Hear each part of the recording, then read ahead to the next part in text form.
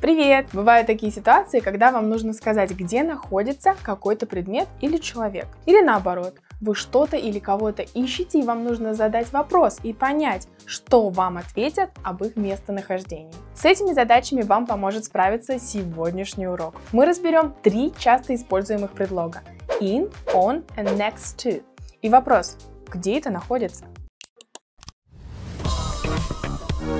Итак, представьте, что ваш друг Марк присылает вам фотографию из своего нового дома. Про расположение Марка на этой фотографии можно сказать так.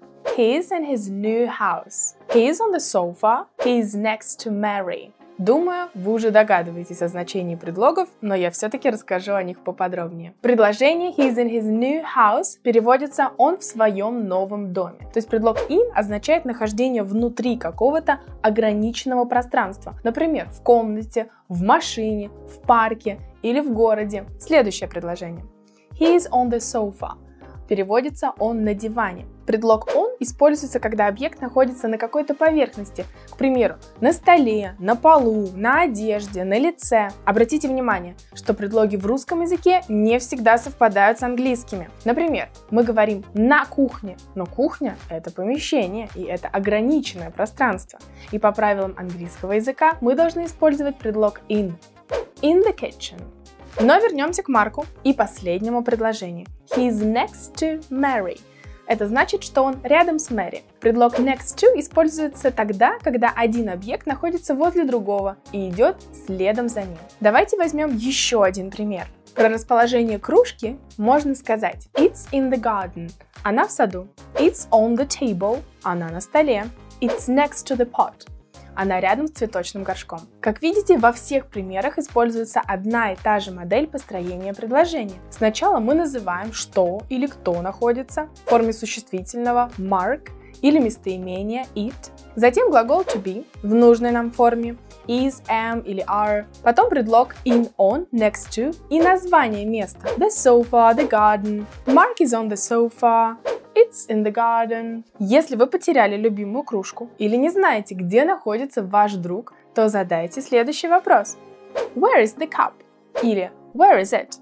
Where is Mark? Или Where is he?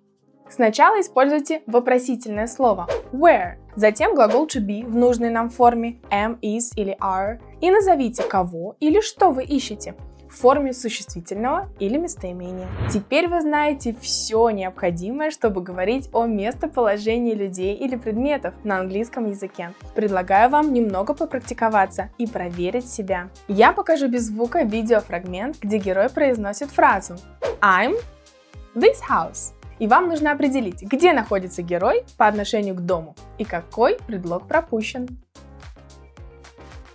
Давайте проверим. I am in this house. I'm in this house. Мальчик находится внутри, в доме, поэтому говорит I'm in this house. В следующем видео один из персонажей рассержен тем, где сидит другой персонаж и произносит фразу I don't want him, me. Я не хочу, чтобы он сидел где по отношению к нему. Теперь давайте посмотрим со звуком. I don't want him next to me. I don't want him next to me.